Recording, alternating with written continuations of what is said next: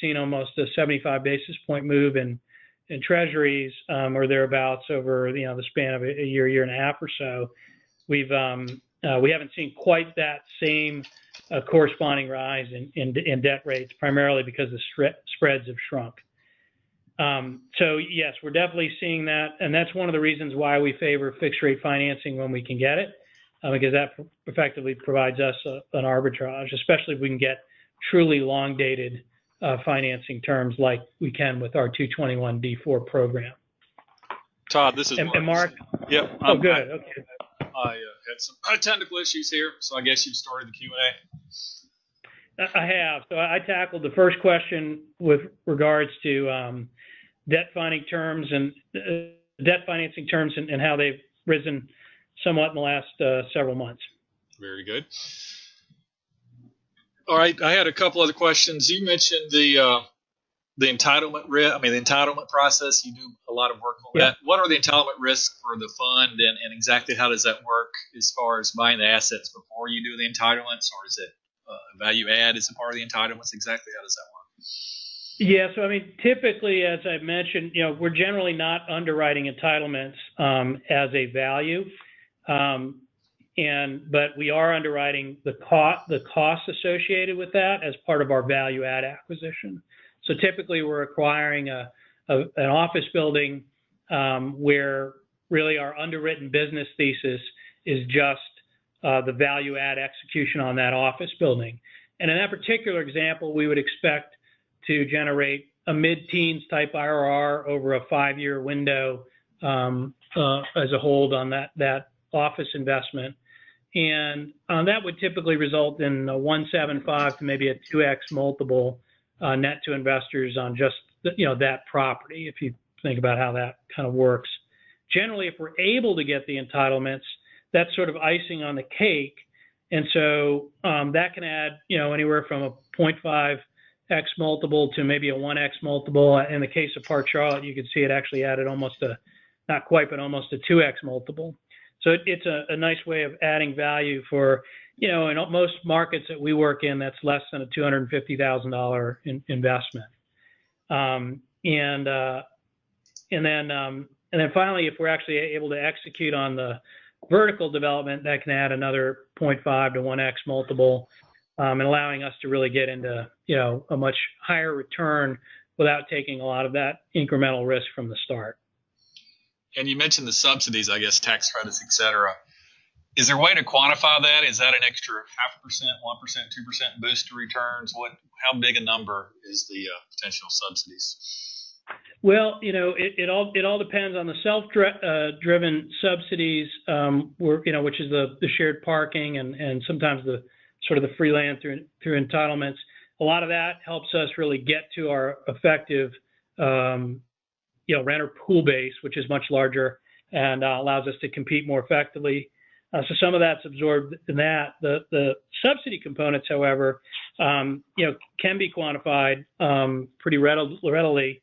In our first three projects, for example, you know, our subsidies are generating anywhere from call it, you know, effectively you know, $3.5 million of net present value or cap value on up to almost $8 million. Um, and that equates to a monthly rent advantage over our competitors of anywhere from, you know, $75 a unit a month all the way up to, you know, close to $200 a unit a month. Um, if, that sort of helps. And, and so on a percentage basis, it's kind of hard to quantify that, but it could add anywhere from, you know, call it you know, ha- half a percentage point to maybe a couple to two, two to three percentage points of return. All right, and the uh, you may have already covered this, but the, the cap rates. What's the trend you're seeing the last few months? It's you know we hit three three percent on the ten year Treasury today, and what's what's the market reacting to that, and how should that affect the fund? Yeah, we've definitely seen some rise in cap rates, but demand for commercial real estate has been remained pretty strong. So we've not seen a substantial move up. It's certainly not a corresponding move. Um, to give you an idea on how we underwrite our um, our acquisitions or, or, development, we benchmark off the 10-year Treasury and have a set spread that we use. And then what we do is we actually assume that cap rates will continue to migrate upward. So we assume a uh, migration trend, and we base that migration rate on the um, uh, on the um, the type of loan we're able to secure. So to the extent we're using shorter term debt um, that's variable rate, um, so bridge debt, um, we will migrate that cap rate exit at a more aggressive, I mean, at a, a more conservative rate. So much larger bumps on an annual basis.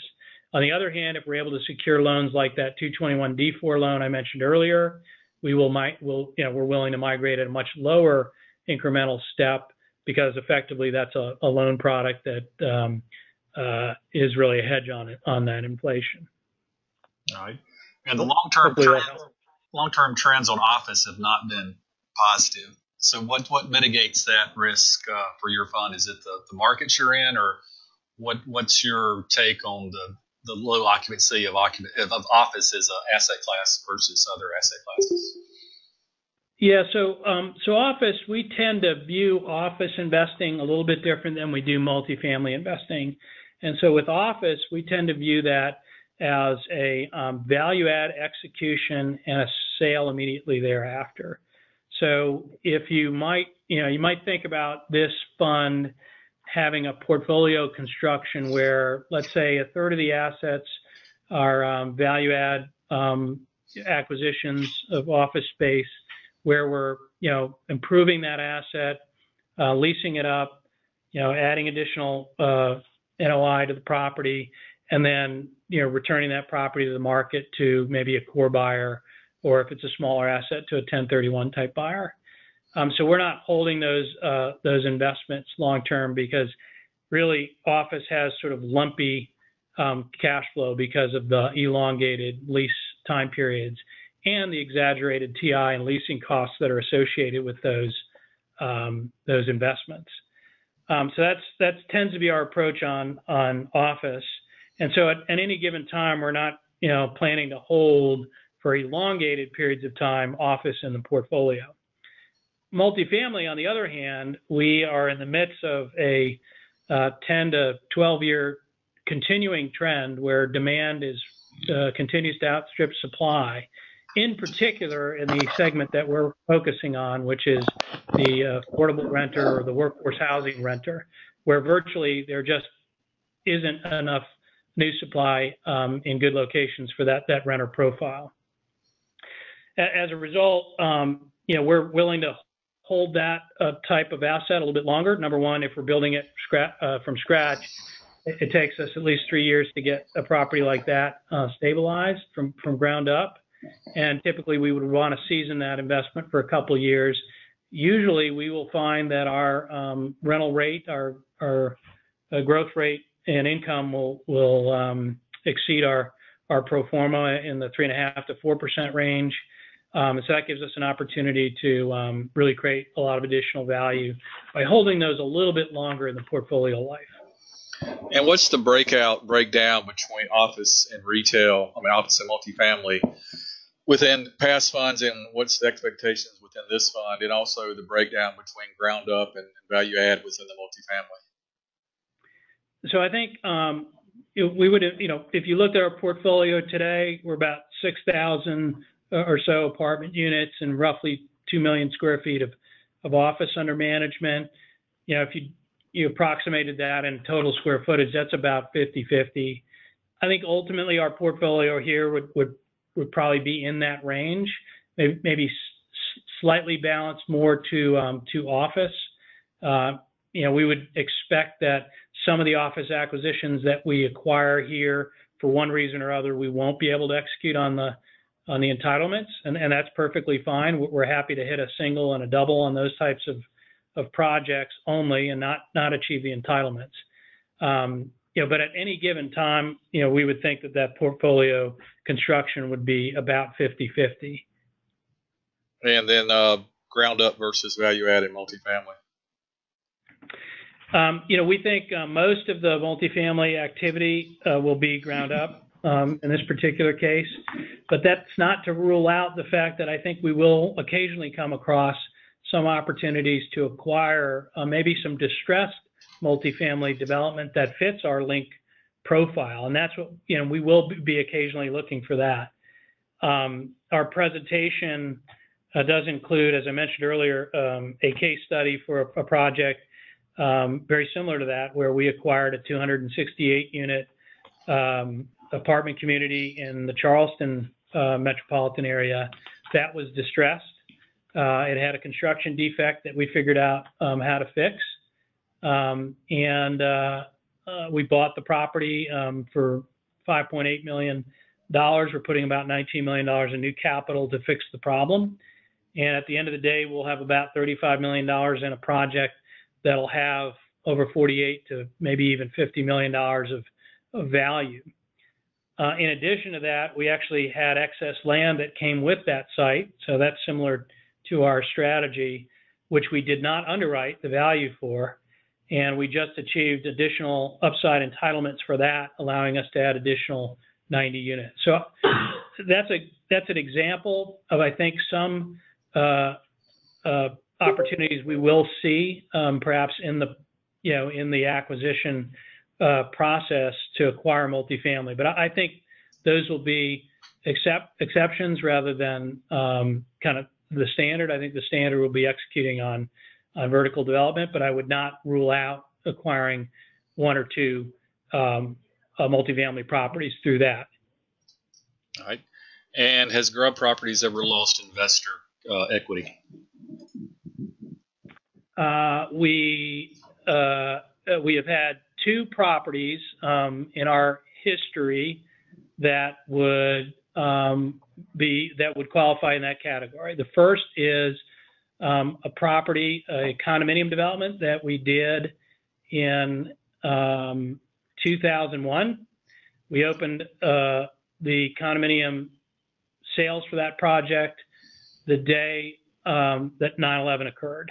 And so, um, to give you an idea how we responded to that with investors in that project, uh, we turned around and actually wrote investors uh, their equity checks back and said we'll take on this risk burden going forward. So that's that in that particular case.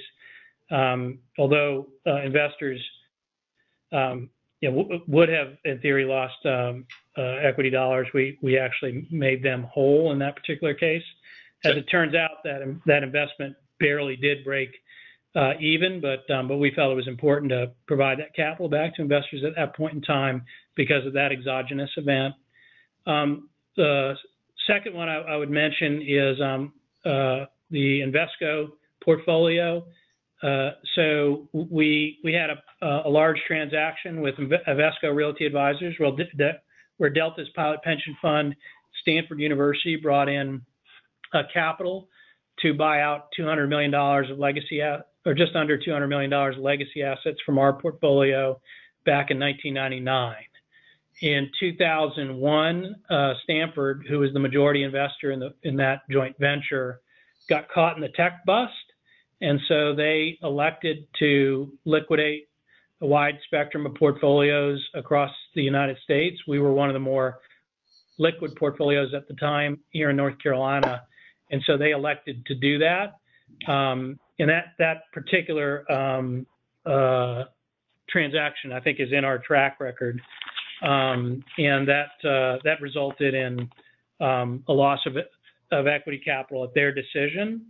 Um, and in fact, we uh, we recommended highly against it, um, and so when it came time to sell it, we actually bought about 50% of that portfolio back from our partner because we felt so strongly the real estate had additional value left to go, and it, and it certainly proved that proved that to be the case. All right. So those are two examples. And not too bad for investors. Uh, a lot of our well, guys invest with IRA keep money. Find out. Go ahead. So I was going to say too, uh, we've never had a deed in lieu in our in the history of the company. We've never had a foreclosure, never had a remote bankruptcy. Um, it, during the uh, last economic recession, um, we stopped all new investments in 2005. And between 2005 and 2008, we went from 38 individual investments down to five. Um, and that is primarily, you know, why we um, uh, we were able to grow so aggressively out of the downturn is we just did not have the legacy issues and balance sheet issues that many of our peers did in 2008, 2009. So coming out of 2010, we were able to grow, um, and we had a you know, perfect lender track record, uh, which is really important in this industry, as you can imagine. And what's your take on the market today versus how it was in 2007 8? Do you see any similarities, or we still got some room to grow? Yeah, I think it's very different. You know, in 2008, um, you know, we had some very marked uh, supply issues in the, uh, you know, in, primarily in the for sale housing industry, both single family and uh, uh high density condo. That oversupply, which was obviously um, really a financing availability of capital and financing issue, uh, that exacerbated that. Um, and so I won't try to go into the details of that. We don't see that supply issue as a as really the the, the conditions today. In fact, in the segment of office investing and apartment investing that we're operating in, we see an undersupply um, and, and, really a um, you know virtually I won't call it an endless demand, but we see a, a significant demand that I think is going to be very hard to secure. We, we think, in fact, that the United States is in the middle of perhaps one of the greatest housing crises um, that we'll see, uh, certainly in our generation, um, or that we haven't seen since the 1970s, since the boomers. And, um, and that we think will be continued, that we think um, uh, will continue to be exacerbated by um, the rising construction cost. In fact, I was just looking at the Turner Construction Cost Index and last year we exceeded 5% uh, rise in, in construction cost. And that's going to make um, providing relative affordability uh, very difficult in new construction in both the for sale segment and in the um, in the rental segment.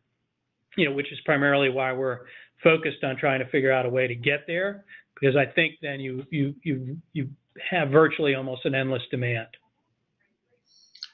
Right, a lot of our guys use uh, 401k money and IRA money to invest. Are you aware of any UBTI issues or other issues that would preclude them from investing with those type of funds? Uh, there, uh, there may be some UBTI income, so I, I would not want to uh, represent that there is not UBTI income. Um, it's not significant. Uh, and so, that, but that is one thing to be aware of. Typically, and I'm not a tax expert, so I won't uh, profess to be one on the call here. Um, but typically, that's only um, an issue for qualified plans, if I recall. Uh, but again, I'm not an expert in that regard. Um, we do allow for, um, uh, we do have several IRA uh, investors. In fact, I, I have uh, investments in several of our pre- previous funds through my IRA. IRA. Uh, uh, so I'm familiar with the fact that we do allow for that. it is a little tricky. The significant is, Mark, is it, it is a little.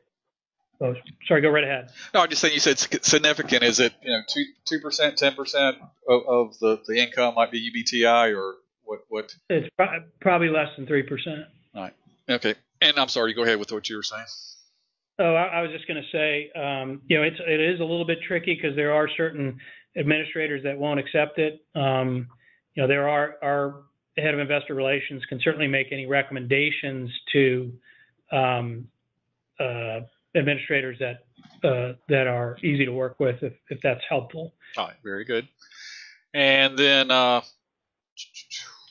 back to the original questions. Are there any current deals in the portfolio that are under underperforming, and are there any current deals that are overperforming? In our overall uh, Grubb Properties portfolio? No, I was thinking of this fund in particular.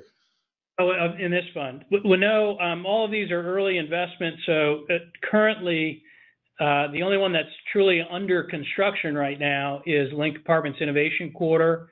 Uh, that's a project in, in Winston-Salem I mentioned earlier. Um, that project is currently about 30 days behind schedule on construction, primarily weather related. Uh, not too unusual, um, although we are currently below you know, well inside of our, cost and, potentially could have some savings in that project. So, um, you know, I think that's uh, probably about par for the course um, in, construction given labor supply right now. So we feel like that's, you know, on, par to be, um, you know, hitting our, our pro forma projections. You know, we may very well be able to make up those 30 days with, uh, with better weather conditions here in the summer. The, the spring tends to be a little bit of a, more of a rainy season for us. Um, the other two, two investments that we've closed on are uh, projects where we are in, in the design phase on right now and securing construction financing. Those are all on schedule. We anticipate to secure construction financing late this summer, early um, fall for the Grant Park project I mentioned earlier. And then the uh, 4th Street project will be one that we would secure, uh, finish our design work on and secure financing for in um, late fourth quarter. Right now, we, it looks like we're on track to close before the end of this month, uh, perhaps the first week of um, May. The transaction I mentioned in um, Fairfax, Virginia, in the DC metropolitan area, and that's a you know roughly a 275,000 square foot office investment. Um, there's a strong chance we actually could be uh, ahead of pro forma right out of the gate. We're in pro- uh, knock on wood here. Uh, we're in negotiation with a tenant that would take a full floor, um, and uh, we're hopeful we'll actually uh, potentially get that inked in the first several weeks um, after closing that transaction, or potentially even before, which would be, um, you know, real home, home, run for us on that uh, transaction uh, right out of the gate. And the pipeline is it uh, pretty full? Is it still pretty easy to find deals? What What do you see in the next uh, six, 12 months? Yeah, um, in fact, uh, we're typically reviewing about four to five deals a week at, th- at this current pace. Um, you know, I, I, think our team's pretty optimistic. We actually just onboarded um, yesterday another um, uh, a person to assist in our um, acquisition team, so we'll have some additional help there to keep that pipeline activity going. We've identified uh, two additional markets, um, Houston and Northern Virginia obviously Northern Virginia being um, one we're going to get ready to close a deal on, uh, where we're going to spend some additional time. Uh, we think the opportunities are pretty unique in Houston right now, and some of the Northern, Virginia submarkets around DC hold some real opportunities, um, as as is the case with our Argonne Plaza transaction. So, um, so yes, I think we're, we're we're still seeing good opportunity. Um, I think the Southeast is pretty unique for this strategy.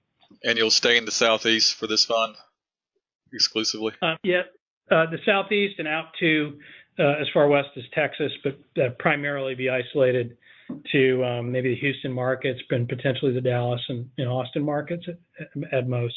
Is that similar to the other funds? Is, have they always been pretty much is, the southeast? Except the yeah, the Texas and uh, Northern Virginia markets are would be new, um, but other than that, um, you know, our markets in uh, you know Georgia, Florida, South Carolina, North Carolina, Virginia. Um, uh, you know, up through Richmond um, and Tennessee are all markets that we've been in in other funds. No, and, and Alabama. I'm sorry. Right. And how much, uh, I guess, skin in the game? How much is the uh, group putting into this fund as a percentage of the fund or t- total dollars? Um, well, we're uh, we're re- uh, we're required to invest a minimum of three and a half million. I would suspect that that dollar amount will be north of that because we uh, that's three and a half million that we'll be directly investing as the manager, which uh, we've got about 25 employee owners that are owners in the manager that uh, that will be investing that capital. But we've we've got several other employees that will also uh, ultimately do direct investments. And that's over and above any acquisition fees or fees that are built in. That's actual. Yeah. Well, yeah, I, I think it's important to um, say that we, we do not charge any acquisition fees or disposition fees. Um, and so the, the, the, uh, the, fees that are charged at the fund are, are solely the acquisition, I'm sorry, the um, asset management fee.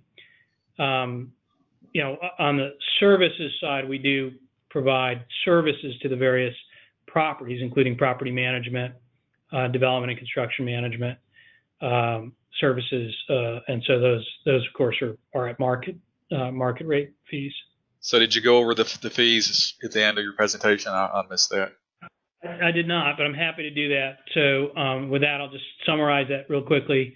You know, our target here is to you know raise a couple hundred million. We're, we're primarily doing that initially with um, you know individual investors, family offices, you know, um, and uh, and high net worth uh, uh, families um, initially, and then you know we've uh, already begun um, our next leg, which is to begin to work with endowments and pension funds and investment com- uh, insurance companies and, and, such that invest in funds as well.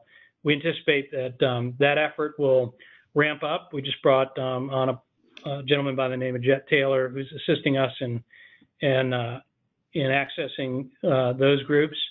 We we think that you know those, those that capital is typically a larger chunks and uh, and and typically callable. Um, and so we envision that, that we'll continue to fundraise to the balance, at least through the balance of this year and, and potentially through uh, the first or second quarter next year. Um, uh, uh, and that'll be our, our, our target raise. Uh, we have an 8% preferred return um, that would be um, accrued and compounded uh, to investors um, until we, you know, start paying out out distributions, which we anticipate would start occurring after the conclusion of the investment period. Um, our target return to investors is sort of a mid-teens um, IRR and hopefully a 2x multiple. Um, uh, the waterfall then would be, you know, an 8% preferred return, return of capital. Uh, the manager would get caught up on its, you know, pro rata share of the uh, accrued portion of the uh, carried interest for that 8% uh, pref. And then all capital would be split 82% to members and 18% to the member thereafter. Um, we're charging a, an asset management fee of 1.8% um, on committed and unreturned capital. Um, after the investment period, that will be um, on actual invested capital, um, actual invested and unreturned capital at that point. And so, you know, as capital's return, that fee obviously uh, goes down.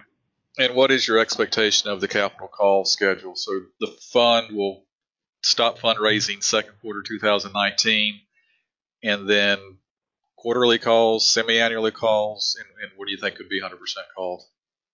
Yeah, so I, I think um, initially uh, for this next closing here in, um, or really this week, um, uh, we anticipate uh, closing, I mean, calling 25% of the capital. We do have a little bit of a unique uh, program for this last, for this uh, closing for our existing investor pool and, and any investors that come in this week, uh, where we're allowing them to effectively prepay their capital.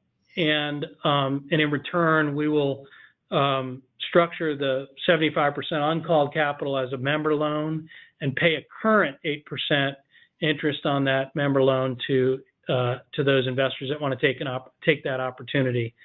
That allows us then to continue our, fundraising. Um, you know, and, you know, still close our existing four deals here uh, with capital from you know uh, those uh, those early stage investors, and then rewards them a little bit of uh, additional return on idle capital if they have it uh, available at this point. And what is the how many capital calls do you anticipate? How many have you done in past funds? Is it every quarter? Every how how often? You know, and when do you think generally, yeah, generally it's hard to say, but you know, because it it really uh, comes with you know when the opportunities come. So you know we we uh, um, uh, but generally I'd say you know once a quarter um, to as infrequent as um, you know every other quarter, and those are typically in 10 to maybe uh, 10 to 20 percent increments. So if, you know we went, you know I think our first call here was 10 percent. Uh, we added 15 percent for this call. We've had you know uh, two quarters between our, last adjustment of that amount.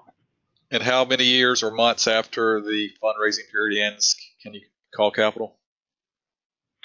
Um, so uh, we would need to call it all uh, through the investment period, which uh, is May of 2022. May of 22, and but you'll close the fund second quarter I- 19. I'm sorry, I, did I, I, I meant May of 2020. I think I might have misspoken and said 2022. So May of 2020. But you think that the fund will stop accepting new investors second quarter of 19, correct? And then there'll be another year that you'd still raise mon- money from within the, the investors. That, that's correct. And so likely this, this first, this year, uh, this next year between now and say this time next year, in an ideal sense, we probably would not call much additional capital, um, primarily because, you know, ideally we're raising all additional needs through additional investors. And then starting thereafter, we would have additional calls as we secure new properties. Would you ever see having to give back capital because you raised too much in the interim? I've had a fund do that. Uh, no, I don't think there's, you know, I think our, our pipeline is robust enough. We don't anticipate that. I wouldn't rule it out, of course. We've never had to do that. Um, but, uh, uh, but I don't anticipate that.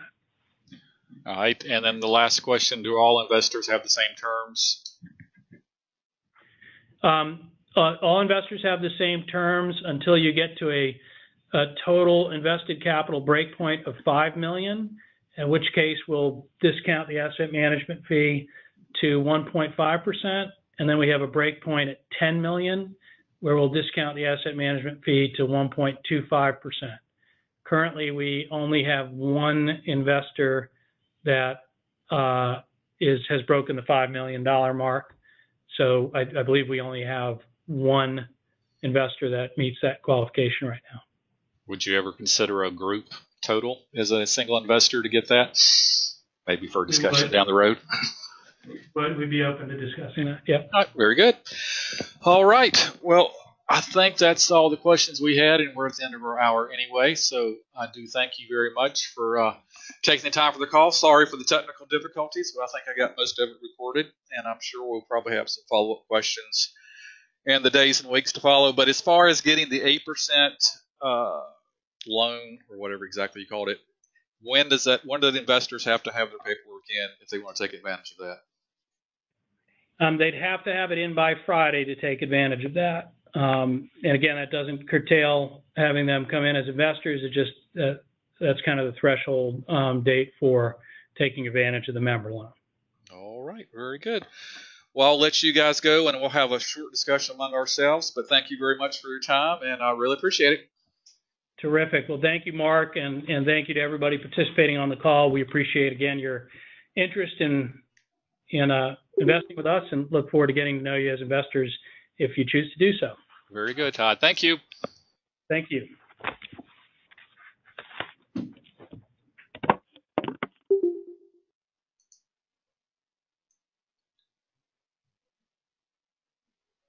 All right, guys. Now we're starting our new policy of discussing the webinar after the sponsor leaves. So if you're muted, please unmute yourself. And uh, I'll try to unmute people as well and get people's feedback on what they thought of our call. Um, I missed about 15 minutes of the middle of it, but uh, I think I caught most of it. Anybody have any uh, thoughts on the Grubb webinar?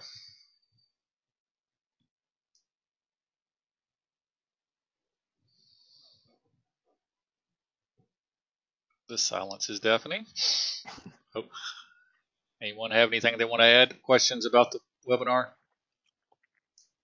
Uh, Mark, it's Les Edelman. I'd sent you a, a private message, but I didn't know if they'd already covered it. Unfortunately, I came in, I think, at least half an hour late to the call um, about um, geographic differences in this fund versus uh, their prior couple of funds. Uh, Yeah, are they I- doing something?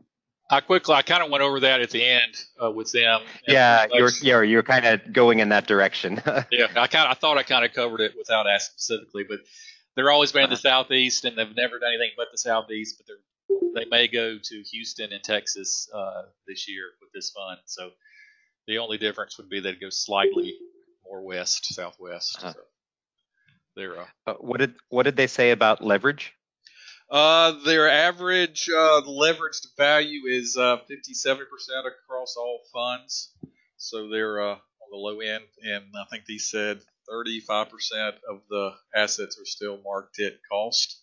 So I guess some of that, some other assets have marked to market to come up with that value. So I uh, I suspect it's probably in the 65% range uh, as far as cost, and then 57% value. Mhm. And the uh, I don't know if everybody understood, but if you invest this week, you pretty much can invest your entire entire capital amount, and you get your eight percent pref. They're calling it a loan, but essentially uh, they're they're paying you interest for the entire uh, amount because they're only calling twenty five percent now. So if you put in uh, hundred thousand dollar commitment, you could put the entire hundred thousand in now, and twenty five thousand would be quote invested. The other seventy five percent would be earning eight percent interest, or you know if you were invested eight percent preferred. So it's pretty much the same as uh, investing hundred percent capital. Yes. Mark, do you think that that part that they're calling like a loan, do you think it has different capital stack rights than than others? Like, uh, do do you have? I mean, if they run into problems, do the do the quote lenders have uh, some kind of higher priority than the than Would the have to- equity investors? Would have to look at the docs. I mean, the way they the way he Yeah, described it Devils in the was it, it was a loan, and a loan would say higher pr- priority than equity. So we'd probably in between Yeah. the two, but I, I have no idea. Whether, what It would probably be subordinated to their lenders, so it'd probably be somewhere in the middle. Yep, that'd be my guess. Uh huh. Okay. And Yeah, it's uh, interesting. So similar to uh, MLG, it's going to be open for another year, and similar to MLG, if we raise uh, apparently five or ten million dollars, we can get. Uh, we haven't. I briefly negotiated right there, but uh, it sounds like they're open to negotiating on that. So I think if, if our group comes in between five and ten million dollars, we can get the 1.5 percent management fee, and then whatever the ten million dollar one was, and uh, they're already at an 82-18 split, which is better than most. So that could be pretty advantageous. And I personally wanted to like to wait when you can and see how the economy performs and how the assets perform. Uh-huh. So this would be one that I would probably not invest until second quarter of 19, but uh, I think we can have a long. Well, that eight percent on the uh, on that loan piece, that sounds pretty good because I mean there are a lot of uh, platforms where you can do short term, like whether you give a hard money loan or AlphaFlow, for example, and even that, you know, it usually takes a year to get your money back. You're not getting more than than eight percent, so eight eight percent sounds pretty good. If I agree. I mean, that's the trade-off. I mean, that's MLG. You don't have that option, so it, it's it's a pretty much no-brainer. This adds a little complexity to it that you you may want to invest now because of the eight percent. So it's not as black and white as MLG was to me. So it depends on how much capital you have sitting around and, and what your particular uh, cash flow is. But if you got a lot of money sitting Yeah. around and uh, you believe in their story, you know, why not invest now? Anybody else have any comments? Questions? All right. Well, I guess we'll call it a day. I'll, I'll ask you I'll ask you one more question, Mark. I can't believe nobody else is talking. There have to be other people listening in.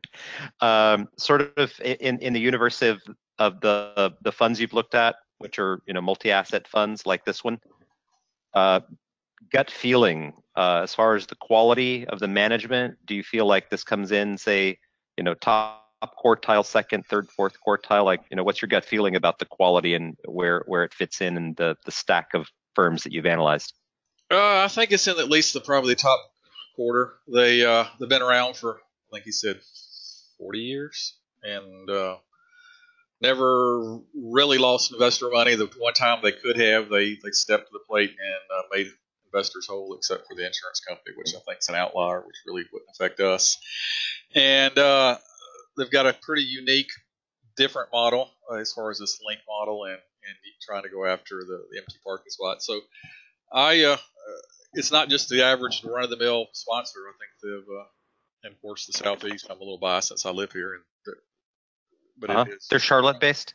Yeah, they're Charlotte, and I'm in, in Salisbury, which is 25 miles north of Charlotte. So, All right. and I've got a uh, couple of members that are in our group that I know personally. Have invested with them uh, for years and, and one-off projects, and uh, and put a lot of money with them. and I've been very very pleased. That's how I found them actually, and uh, so. Is there uh, is there a deck available? Uh, what what's available to us right now? Uh, yeah, I think it's uh, there is a presentation deck that similar to what he went over in the uh, Grubb thread, and then there's oh, I think they had some quarterly updates that they put in there as well. But it in Uh, the, okay, in the I'll Grubb look in the forum. in the Grubb forum, Uh-huh. and then Yeah, uh, yeah. Mark, is there any penalty if you want to wait up to the second quarter of next year? Uh, there is and there isn't. You have to pay yourself your eight percent pref that's been accrued because everybody, it's like another fund. I can't remember which one. Uh, Origin, I think. You, everyone is treated as if they invested day one, so everyone's accruing as of I guess the first of uh, middle of seventeen. So you're you have to pay the the 1.5 to 1.8 percent fees that they pay, plus you have to pay the accrued referred returns that you will get back eventually anyway. So you're kind of prepaying yourself. So in the end, the only penalty is you, you're paying the uh, one point the asset management fee that the guys that are in originally have to pay. But if you join day one, you'd pay them anyway, and you may get to bail and not invest if things go south. So it's it's pretty much a wash in my mind. Mark, who do we reach out to if we wanted to pursue it?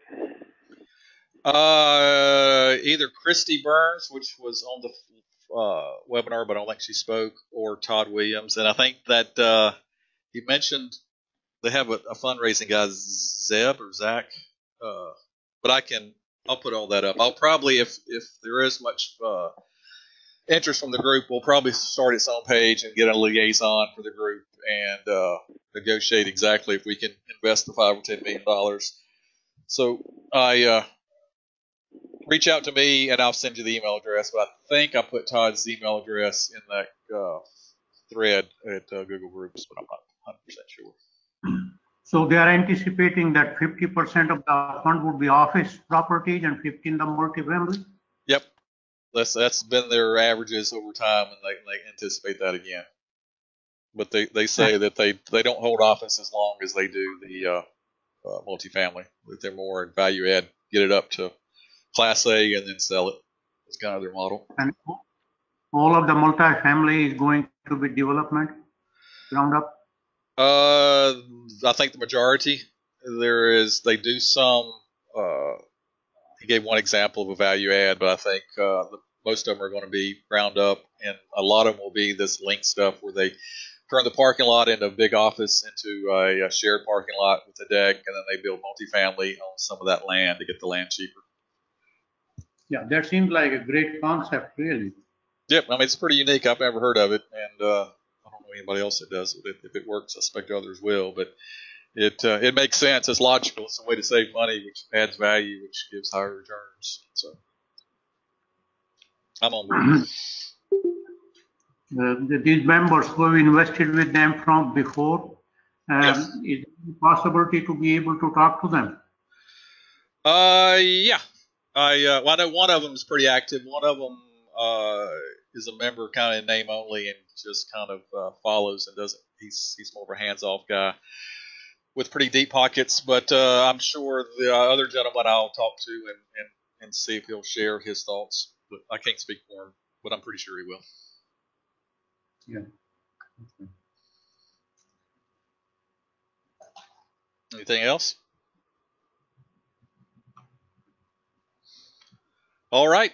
Well, I thought it was uh, productive. I will uh, record it, and I guess I'll have to put up two webinars because when I, my IT guy, for some reason, rebooted our system, and I was out for 15 minutes. So the end of his presentation won't be there, but the first part of his presentation will be on one uh, webinar, and then the Q and A part will be on a second webinar. And I'll, I'll put those up and put it at the uh, Grubb uh, thread at uh, Google Groups, and then I will uh, see if we can find a volunteer to be the liaison because I think this could be a, something very similar to MLG, a long-term uh, fund that we could potentially raise a lot of money on.